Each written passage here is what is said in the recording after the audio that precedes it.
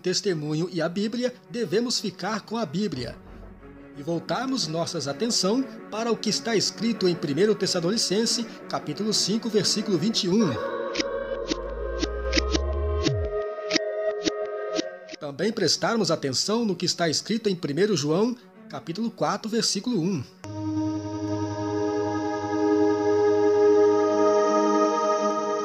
E também em Gálatas, capítulo 1, versículo 8.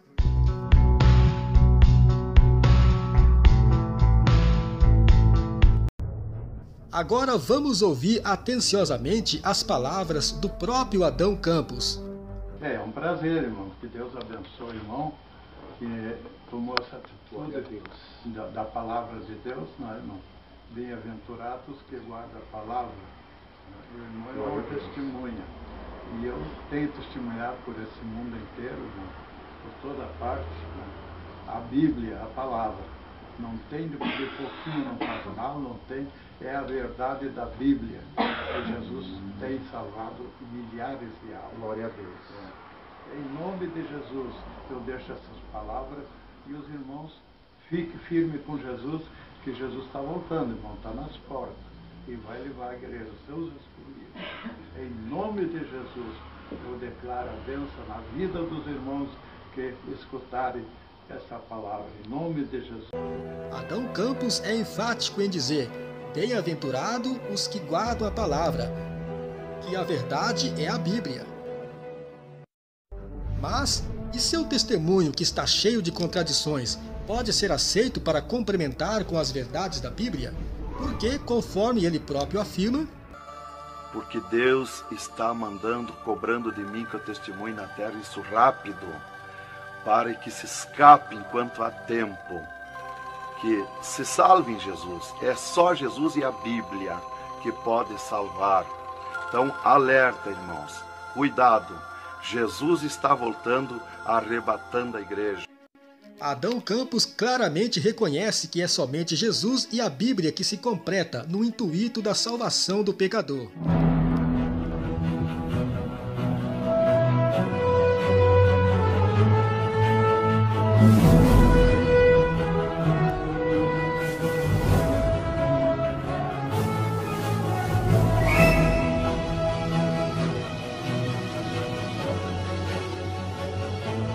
Feito esses esclarecimentos, agora vamos continuar a ouvir os demais pontos principais, na qual nos faz questioná-lo sobre o que é verdadeiro ou falso no testemunho de Adão Campos.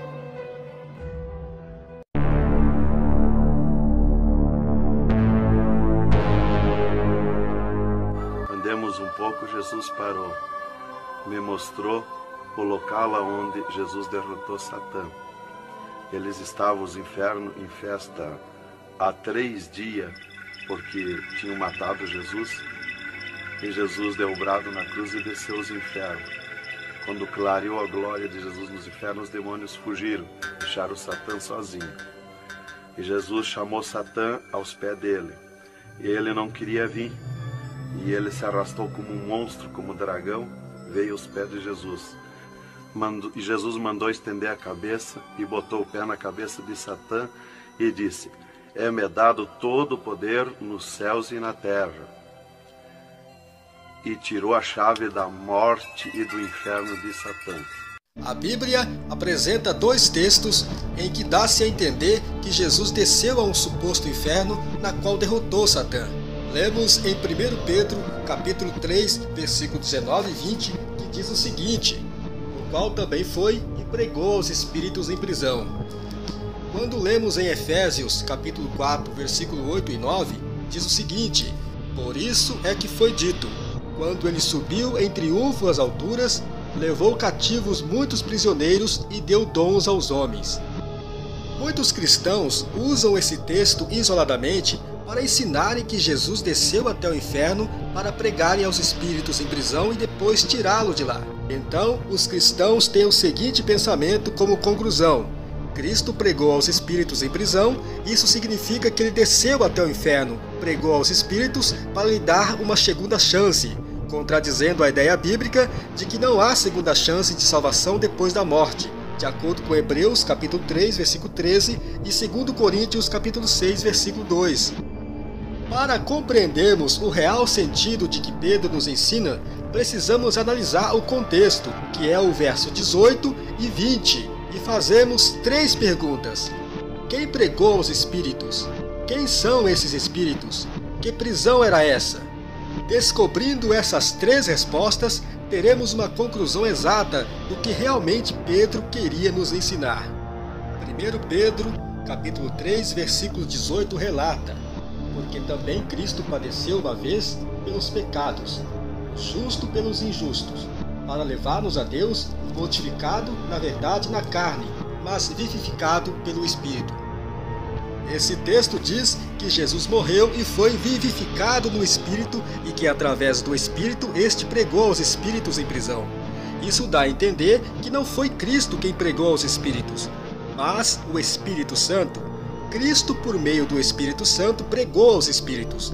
Esse ponto já desfaz a teoria de que Jesus desceu ao inferno para pregar aos mortos, e que se alguém desceu a esse suposto inferno, esse alguém era o Espírito Santo. Nesse contexto, aparece a expressão mortificado na carne, mas vivificado pelo Espírito. Isso significa que Jesus foi ressuscitado pelo Espírito, e esse Espírito é o Espírito Santo, conforme Romanos, capítulo 8, versículo 11. Jesus Cristo morreu e foi ressuscitado pelo Espírito Santo, e na qual, através do Espírito Santo, ele foi e pregou aos espíritos em prisão. E quem são esses espíritos em prisão? Vamos ler 2 Pedro, capítulo 3, versículo 20. Os quais, noutro tempo, foram rebeldes, quando a longanimidade de Deus o esperava, nos dias de Noé, enquanto se preparava a arca, na qual poucas, isto é, oito almas, se salvaram pela água. De acordo com o verso 20, esses espíritos em prisão são os antediluvianos, a que Cristo pregou por meio do Espírito Santo. A Bíblia usa esse termo espíritos em referência às pessoas que estavam vivas. E qual era essa prisão? Vamos analisar Provérbios capítulo 5, versículo 22. Quanto ao ímpio, as suas iniquidades o prenderão, e com as cordas do seu pecado será detido. Conforme esse texto nos afirma que o pecado nos prende como uma armadilha, ou seja, uma cadeia. Portanto, a prisão que se refere nesse texto, e também segundo Pedro, jamais é o inferno e sim a prisão do pecado. E com todas essas informações verdadeiras, o real sentido do texto é: Cristo, por meio do Espírito Santo, pregou aos antediluvianos, nos quais no dia de Noé estavam presos pela cadeia do pecado. Ou seja, Cristo, por meio do Espírito Santo, falou aos corações dos antediluvianos nos tempos de Noé.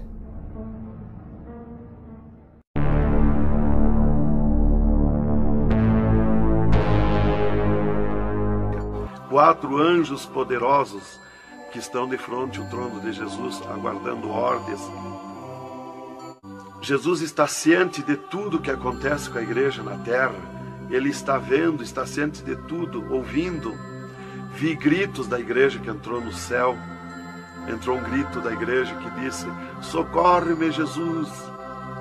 Jesus se levantou, chamou o anjo que estava à esquerda, um poderoso anjo daquele, deu ordem. Aquele...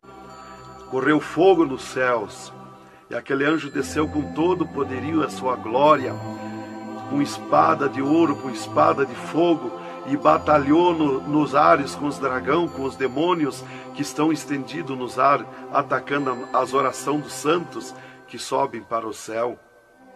As orações sobem como bolinhas de ouro, e os dragão batem com as mãos, atacam com as suas garras, e elas escapam pelo meio das garras dos dragão e entram no céu. Então aí dá o grito da igreja no céu. Na Bíblia, em Apocalipse capítulo 5, versículo 8, faz menção de como são chegado ao trono de Deus as orações dos santos. Diz o texto: E os vinte e quatro anciãos prostavam-se diante do Cordeiro, tendo todos eles harpas e salvas de ouro cheias de incenso, que são as orações do santo. O real ensino da Bíblia está em dizer que está lá no céu para nos proteger o leão da tribo de Judá, a raiz de Davi que venceu e irá abrir o livro que discerne sobre a vida e a morte das almas. Os anciãos se prostam perante o trono do Cordeiro, levando nossas orações a Jesus, o mediador, junto a Deus.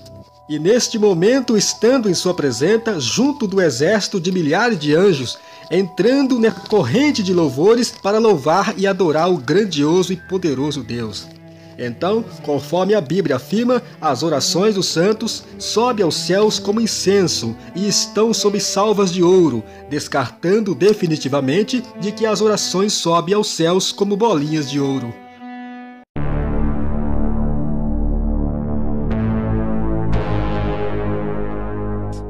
E abriu-se o portão de ouro e cristal para a banda do norte.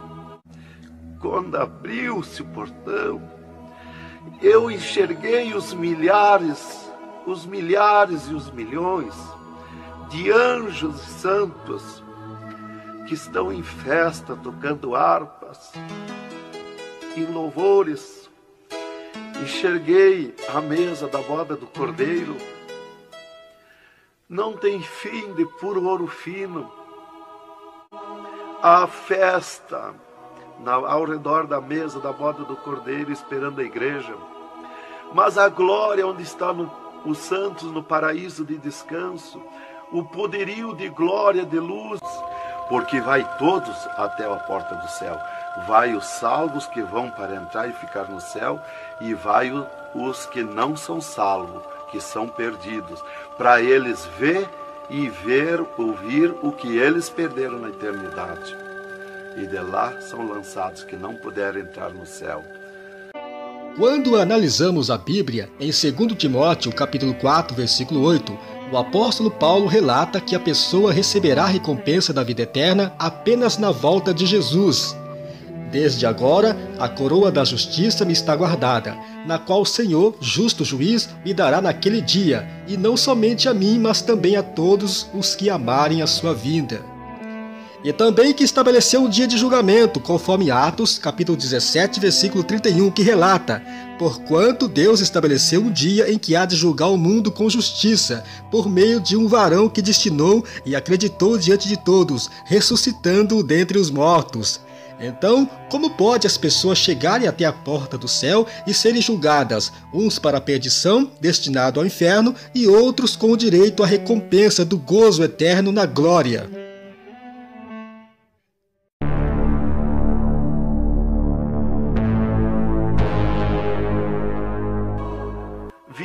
Santos chegaram à porta do céu que se diziam santos, que não puderam entrar no céu. Santos que se diziam santos barbudos, cabeludos. Seus nomes não estavam no livro da vida. Era amarrado de mãos e pés e lançado nas trevas exterior. Era grande o grito de misericórdia pedindo para o anjo, mas não tinha mais misericórdia santas que chegavam no céu. Ele media seu, lá no céu os cabelos das irmãs, eles não dizem cabelo, eles dizem véu. Eles mediam, o anjo media com a mão o seu véu e ele sente a falta quando falta. E ele perguntava: O que, que fizeste do teu véu? Ela dizia: Eu aparei, eu tosquei. E o que mais que fizeste? Eu pedi misericórdia, pedi perdão. O que mais que fizeste? Eu nunca mais tosquei. Então tinha perdão, entrava no céu. Outros ele perguntava para as irmãs do seu véu, ela dizia que tinham tosqueado. E ele perguntava o que mais que fizeste, ela dizia que tinham pedido perdão, o que mais que fizeste. E ela disse que tinha tosqueado de novo e não pediu mais perdão porque tinha vergonha. O anjo chamava outro anjo e mandava amarrar de mãos e pé e lançar nas trevas exterior. E ela se atirava no pé do anjo e começava a gritar por misericórdia. O insistia com o anjo. O anjo chamava o anjo das gavetas de ouro, mandava abrir as gavetas de ouro e pegava seus véus, tosqueado e mostrava para ela. Elas viam seus véus transformados em ouro lá nas gavetas de ouro, elas botavam a mão na frente do rosto, não podiam contemplar, davam um grito desusado e se atiravam. E o anjo amarrava de mãos e pés e lançava nas trevas exteriores. Que na terra nós dizemos cabelo e lá no céu eles dizem o véu. No véu das santas está a honra desde Deus, está a glória de Deus, está o poderio de Deus. não fica nada de nosso corpo na terra, irmã. Nem um fio de cabelo nosso. Se a irmã perder um fio de cabelo no banheiro tomando banho, o anjo recolhe, é transformado em glória lá no céu o seu cabelo. Assim como não ficou do corpo de Jesus uma unha, não ficou um fio de cabelo do nosso corpo, não vai ficar nada, irmão. Vai tudo para a glória do céu. Nosso corpo é santo, é o templo de Deus. Este afirma que a salvação de uma mulher ou de um homem está ligado à sua estética. Se ele for barbudo ou cabeludo, não poderá entrar no reino do céu. Se a mulher corta o cabelo, também não. Isto é um absurdo. Um corte de cabelo, um fazer ou não a barba, pode invalidar toda a obra da cruz. Questionamos a sua revelação, pois vai contra a Bíblia, não tem respaldo bíblico não condiz com a revelação bíblica. A sua experiência é uma afronta à obra da cruz, beira ao delírio, aprisionando várias pessoas a um dogma não existente nas Escrituras. Ficaremos com o relato do apóstolo Paulo e aconselhamos a você a fazer o mesmo. Porque pela graça sois salvos, por meio da fé, e isto não vem de vós. É dom de Deus. Não vem de obras, para que ninguém se glorie. A Bíblia ensina que a salvação é unicamente pela graça de Jesus, através da fé. Então, não há necessidade de tentarmos criar teologia em cima de assuntos que Deus não nos revelou, como preceitos morais. Adão Campo diz também que no céu existem gavetas de ouro, onde os anjos colocam os cabelos que caem das cabeças das irmãs ou ainda quando cortam ficam lá transformados em ouro e por causa disso, consequentemente, vão para o inferno. Agora o bizarro é dizer que a alma vai para o inferno, mas os cabelos ficam guardados no céu nas gavetas de ouro. Mas a Bíblia não menciona nada a respeito, e muito menos que as mulheres vão para o inferno por cortarem ou tingirem seus cabelos.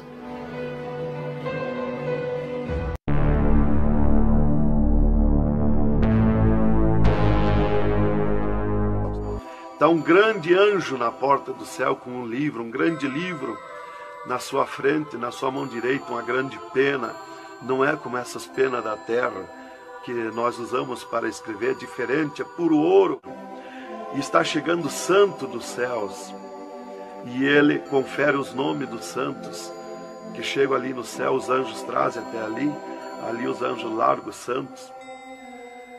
E ele confere os seus nomes seu nome está no livro da vida.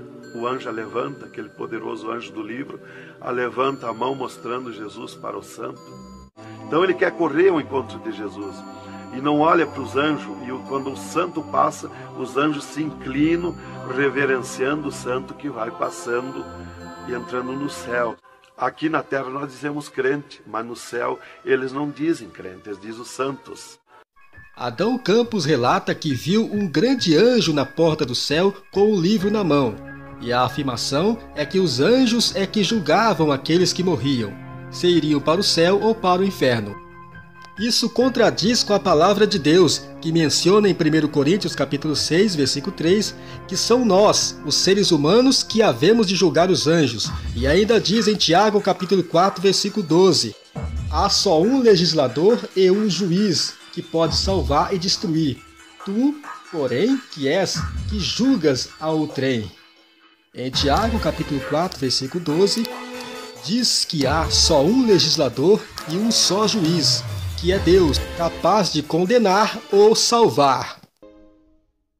Os testemunhos de conversão são muito usados pelas igrejas evangélicas para apresentar Jesus às outras pessoas. São histórias reais de transformação de vidas que causam um grande impacto muito grande naqueles que se sentem um vazio no coração. O que mais nos incomoda nesses testemunhos de supostas visão é a descarada desvirtuação do ministério da palavra. E essa gente fica famosa, talvez até ganhe um bom dinheiro para encantar seus ouvintes com histórias mirabolantes, enquanto a exposição das escrituras é simplesmente ignorada. É muito comum as igrejas propagandear tais como ex-gay, ex-noia, ex-traficante, ex-bruxo, ex-qualquer coisa. E quando estão na frente das multidões de pessoas, ao invés de proclamarem e se orgulharem do que são a partir do momento de sua conversão ao cristianismo, eles simplesmente agem ao contrário, ficam se vangloriando de seus passados sombrios.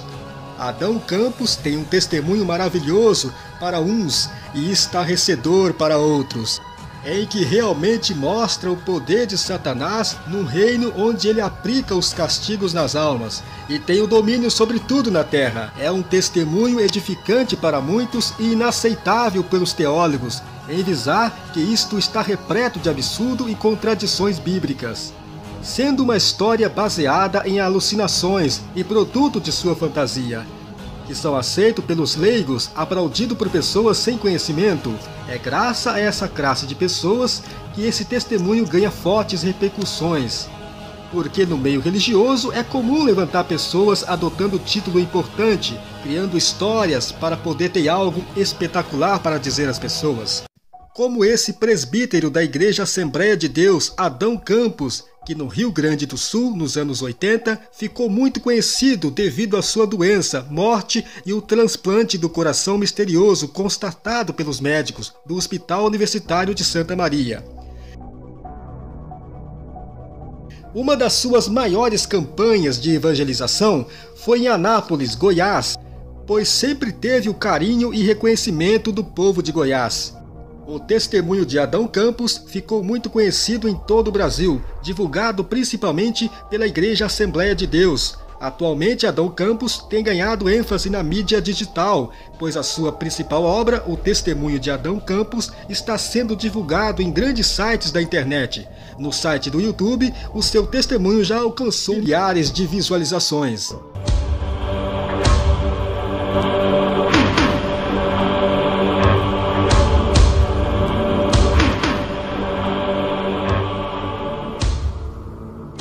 Neste vídeo, vemos o cantor Gleibson Paim numa visita à casa do irmão Adão Campos, que contava com seus 77 anos de idade. Estou muito feliz de estar aqui na casa do Senhor Amém. e saber que muitas pessoas, igual eu, queriam hoje estar aqui, né? Junto com o servo de Deus abençoado. É uma benção, viu, irmãos? Ó, é um homem de Deus que vive o que prega, um homem segundo o coração de Deus, que tem um testemunho impactante e eu estou tendo alegria Amém. de estar hoje aqui com ele, né? Amém. Dando um abraço pentecostal nesse homem de Deus. Amém. Que Deus abençoe a todos vocês. Fiquem na paz do Senhor e ó, assistam, escutem o testemunho do irmão Adão Campos, que é muito bonito. Conforme observamos no vídeo, ele já estava bastante doente, pois fazia constantemente hemodiálise e quase não conseguia falar. Ele residia com seus filhos em Gravataí, Rio Grande do Sul, visto que sua esposa Nancy Campos já havia falecido no ano de 2005. Adão Campos esteve hospitalizado por várias vezes no UTI do Hospital de Gravataí, Rio Grande do Sul, na qual, após passar momentos de sofrimento, a sua situação de saúde se agravou, onde ele veio a falecer no dia 8 de dezembro de 2015, aos 79 anos de idade.